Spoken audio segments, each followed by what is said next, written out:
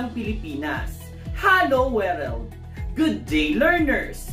Welcome to Introduction to World Religions and Belief Systems class. I am Sir Greg, your Humanities and Social Sciences teacher, and let me guide you in this learning journey. Before we continue, I hope that you are in your most comfortable learning spot. Have a copy of your self-learning module, activity sheet, notebook, and pen for noting important details. I know that you are all excited, so let us begin.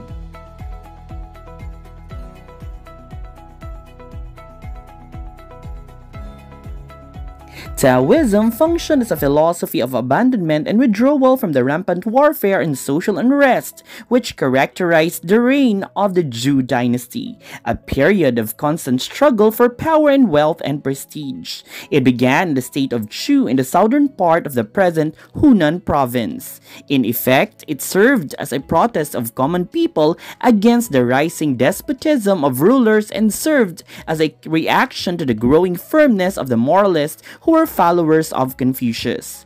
Taoists struggled to fight for individual autonomy in the midst of the struggle of rulers and moralists to bring people to conform to social patterns to achieve social harmony. The ultimate goal of Taoists was to conform to the great pattern of nature which is called Tao or the Way. As a philosophy, Taoism focuses on the great mysteries of the Tao. As a religion, its goal is to achieve long life and ultimately immortality. The yin and the yang is the most well-known Taoist religious symbol. It is an image composed of a circle divided into two swirling parts, one black and the other white. Within each swirling or teardrop-shaped half is a smaller circle of the opposite color. Overall, the yin and the yang symbol signifies the perfect harmonic balance in the universe. For example, day and night, birth and death. According to Taoist cosmology, the big circle signifies the Tao, the source of existence. Meanwhile, the black and white teardrop-shaped halves signifies the yin chi and the yang chi, known as the primordial feminine and masculine energies respectively. Taoists believe that the interplay of the yin chi and the yang chi created the manifest world. Lao Tzu, meaning Old Master, is believed to have authored the Tao Te Ching, dating back to around 3rd century BCE. According to myth, Lao Tzu was conceived by a shooting star and was born of a virgin mother who kept him in her womb for 82 years. He was said to be born with flowing hair, which signified that he would become a wise man. He is considered as the first important Taoist who is believed to be a senior contemporary of Kung Fu Zi, although there is much debate on his date and identity. Chuang Tzu is believed to have lived from 369 to around 286 BCE. Sima Qian also wrote a biography of Chuang Tzu in the historical records. Chuang Tzu means Master Chuang. He is considered a great philosopher and a great writer, and he wrote a book together with his followers which became known as Chuang Tzu and was believed to be completed before the Han Dynasty. Taoism's foundational text is the Tao Te Ching, meaning the Book of the Way in its power. It is a mysterious collection of enigmatic remarks which many find hard to understand. Its opening line, which is often translated as the name that can be named, is not the eternal name, implies the difficulty of putting the truth into words, and can only be explained through riddles and paradox. The Tao Te Ching has often been attributed to Lao Tzu, but some believe that it was a product of the collective efforts among various groups in China since a closer analysis of the scripture reveals that there is no integrated philosophy in the Tao Te Ching. Instead, it was a collection of sayings and proverbs, lines from popular songs and clever maxims coming from various contributors with various concerns. The Tao Te Ching, which literally means the Book of the Way in its power, expounds on the meaning of Tao and its accompanying concept of De the power or virtue acquired by a person by means of living in harmony with Tao. It is said to have a paradoxical element, meaning it contains assertions that were rather contradictory and illogical, yet contain deeper meaning which can be understood through intuition than through rational thinking. Another important scripture is the Chuang Tzu, dating to the 3rd century BCE and attributed to a man named Chuang Tzu, the second founder of Taoism. It consists of delightful parables, metaphors, and poetic passages, and is praised for its high literary value, which represents the most significant formulation of early Taoist thought.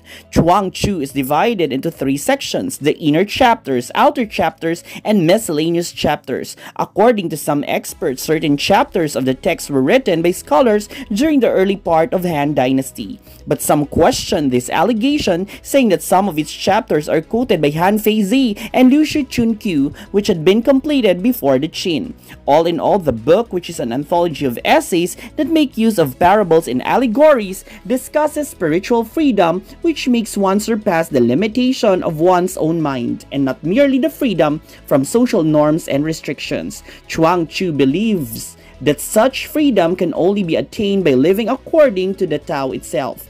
Part of living according to the Tao is to defer to its laws, which includes the law of dying. According to the book, the sage, through his exceptional wisdom, is liberated from life's ups and downs and the world and has overcome his sensibility. This gives equal importance to life and death and does not advocate longevity as opposed to Confucianism. There are other passages in the text, however, which suggest otherwise. For instance, there is a passage which describes the sage as immortals who no longer depend on a diet of grains, have defeated death, and have the ability to help others get well from sickness and overcome other evils. Taoism can be best understood by discussing its concepts and beliefs. According to Lao the Tao, which is the essential concept and creative principle in Taoism, existed before the world. It is undetectable, indistinct, shapeless, and indefinable. It is the foundation of all being and the way in which nature and the universe exist. All things come from it and are nourished by it. That is why sometimes the Tao is called Mother. Tao is the origin of heaven and earth. It is also the way in which heaven and earth now live.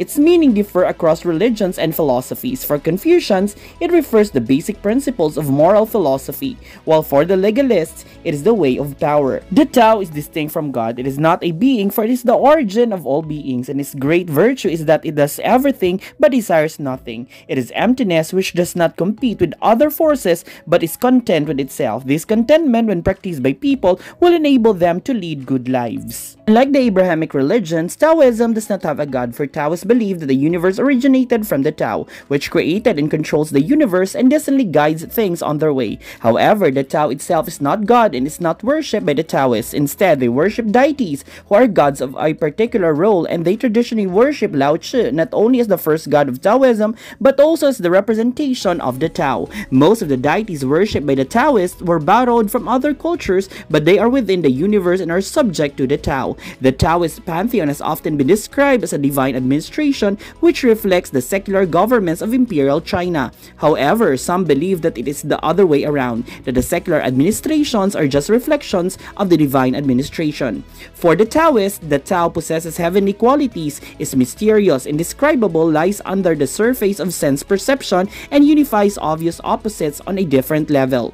Taoists also believe that the Tao can only be found in silence since it is heavenly and beyond beyond change. For the Taoists, God is found inside us, in the thoughtful emptiness from which all power and life originates in all directions. It is the nothing within all of us where all our energy comes from. The De, which means virtue or the proper adherence to the Tao, is another basic concept in Taoism. It encourages an action in nature and advocates the quiet and passive nature of a person so that the Tao or the creative principle in the universe may act through them without interference. People should simply follow the Tao and must do nothing on their own. In this regard, Lao Tzu professed a distaste for culture and civilization for they are products of human activity and proof of humanity's tampering with nature. In line with this, he preferred the use of inaction in ruling the people. Non-competition in emptiness is said to be the other side of the principle of inaction in nature. For Taoist inaction means a person's outward actions and emptiness is the corresponding inner state, which also means absence of desire. Taoists believe that when a person becomes peaceful, peaceful, that person acquires power to overcome all things without having to compete with others. In line with this, humility and avoiding competition with others are two virtues which Taoists value most. Lastly, contentment with what is is another expression of inaction in nature and of non-competition in emptiness. By following the way of nature, a person can attain contentment. For Lao Tzu, the way of happiness is contentment. There is no greater sin than the desire for possession, no greater curse than the lack of contentment.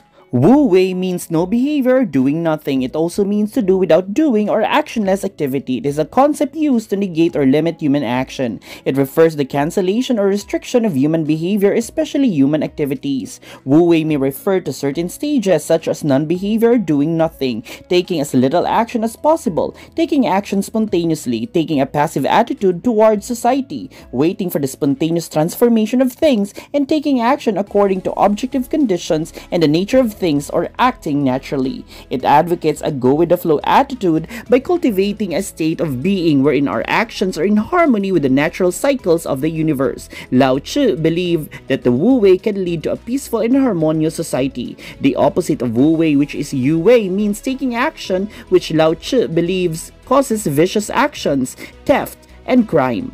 Wu Wei, on the other hand, brings prosperity, harmony, and peace. The Qi refers to natural energy or life force that sustains living beings. Qi literally means air or vapor. It is the fundamental substance of nature and living beings as well as life force. It refers to matter, which is continuous, energetic, and dynamic. It is sometimes translated as material force or vital force. It is considered as the foundation of body and life. Taoists believe that everything is made up of Qi and will eventually return to Qi. Because of this, people should not be afraid of death death, for life and death are but phases of circulation of qi. Chuang Tzu articulated the concept of qi with the story of his wife's death, which narrates that when Wei Chu went to Chuang Tzu to console him for the death of his wife, he found Chuang Tzu drumming upon an inverted bowl on his knees and singing a song. Chuang Tzu explained that while it is true that he was saddened by his wife's death, he was also aware that the qi is still there. It just evolved into another form, which is death death. While some believe that chi is a separate force from the physical world, some think that it comes from physical matter, while others believe that matter arises from chi. Taoists believe that the balance of chi is the key to a healthy life and longevity. Chi considered as the basic component of everything that exists, which gives form to life and makes things happen. It is considered as the root of the human body, the basis of human health.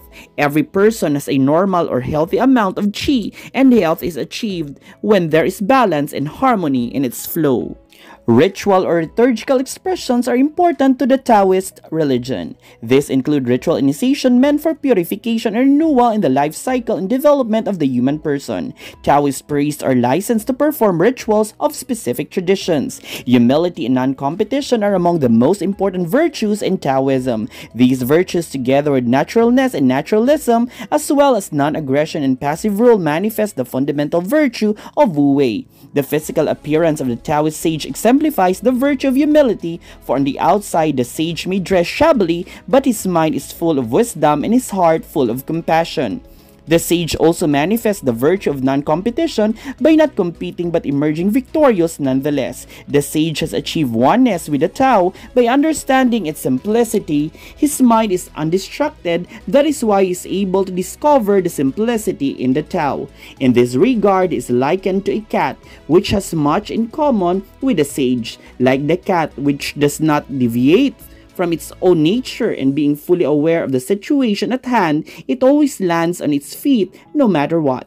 Physical and spiritual techniques are just as important as ethical or moral techniques or practices. Taoists put emphasis on ethical behavior by incorporating it into their practices. They value the need for a moral life, of good works as well as of ritual atonement for misbehavior. Taoism values the virtues of naturalness, behaving as nature dictates, not as caused by social pressure or personal pride, and naturalism, which entails resisting temptation to meddle with nature. Taoists tend not to initiate action, instead they wait for events to make action necessary, avoiding letting their own desires and compulsions push them into doing things. Generally, Taoism, just like other religions, disapprove of killing, stealing, lying, and promiscuity. It promotes philanthropic, selfless, and humane behavior. Good behavior is seen as an essential part not only of self-improvement but the world as a whole. To achieve spiritual perfection like the sage, Taoists practice certain rituals which are listed on the table. Like any other religion, Taoism has a share of issues. One of them is that Taoism has often been criticized for propagating laziness or espousing a fatalistic attitude in life by letting nature take its course and reminding Taoists to just go with the flow. A closer examination of the Wu Wei, however, would reveal that inaction in Taoism simply means avoiding unnatural actions by not doing force or aggressive actions. It means performing all one's actions with natural and unforced attitude. The example of running water exemplifies this kind of unforced action, for when running water in a stream encounters a rock on its path, it does not need to force its way to be able to pass through. Instead, it just passes it through its sides for it to continue its path. Inaction is often misinterpreted as not doing anything, when in fact it means doing things naturally by taking the natural action without the use of force. Another issue encountered by Taoism is the belief in superstitious practices. For instance, there is a misconception that Taoism involves sorcery, which includes the drawing of signs, chants, and other practices, which led to the notion that Taoism promotes superstitious practices. But the practice of ancestor worship has been an aspect of Chinese culture which found its way in Taoism similar to the Shinto practice among the Japanese. Thus, Taoists often find themselves in temples praying to their ancestors for guidance in their everyday lives. Taoists also pray as a way of remembering their source to repay kindness and show gratitude. Another issue in Taoism is environmentalism. Taoists believe in the dictum, live nature alone and nature will thrive. Taoism has advocated a utopian vision of society characterized by order and harmony, and an emphasis on self-cultivation as a means of achieving social harmony. One should have a healthy relationship with nature and it should begin with one's own body. Taoism advocates the idea that we should follow the lead of nature instead of controlling it, for humans are natural creatures who should live in harmony with nature. Taoism emphasizes the balance of opposites and the interdependence of all things, which can be interpreted as an ancient equivalent of today's notion of the ecosystem. China's excessive movement toward urban development at present is seen as being inconsistent with the Taoist belief in the importance of living in harmony with nature.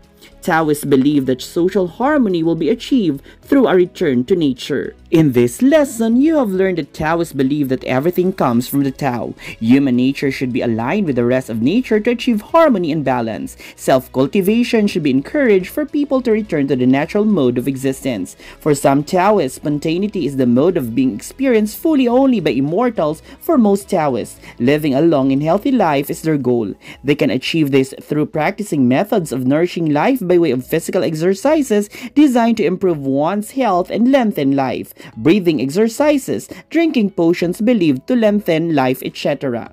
Living in harmony with nature is the way of living with the Tao, which will lead to good health and long life, even immortality for some, because there is a balance of yin and yang, therefore the qi flows freely. Life and death are mere phases of the qi according to Taoists. They are advised not to be afraid of death, since life and death are but phases of the circulation of the qi. Thus, Taoist concept of salvation focuses on this life than in the afterlife.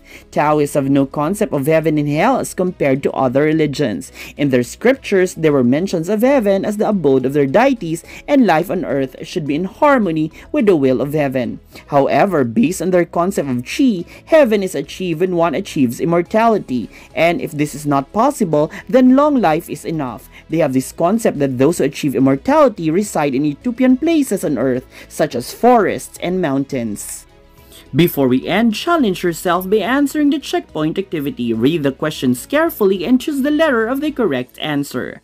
Item number 1. Which of the following is a mysterious collection of enigmatic remarks which may find hard to understand? A. Book of Chuang Tzu B. Dao De Jing C. De De D. Wu Wei Kindly write down your answer.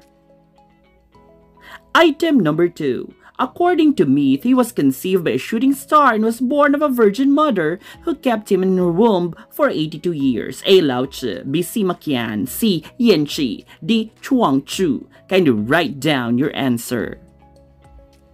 Let us continue with item number 3. Which of the following is an essential concept and creative principle in Taoism existed before the world? A deity, B the De, C the Tao, D Wu Wei. Kindly write down your answer.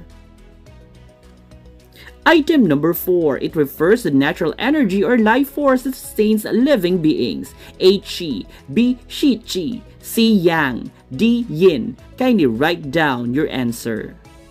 And finally, item number 5. Like any other religion, Taoism has its share of issues. Which of the following is not? A. Environmental ethics. B. Fatalism. C. Superstition. D. Urban development. Kindly write down your answer. Here are the answers. Item number 1B, item number 2A, item number 3C, item number 4A, and item number 5A. Good job, learners! That concludes our lesson. I hope you have learned something and remembered all the important details of our lesson. If ever you forget, you may watch this video again until you master it. Please be reminded to accomplish all the remaining tasks in your self-learning module and in your activity sheet.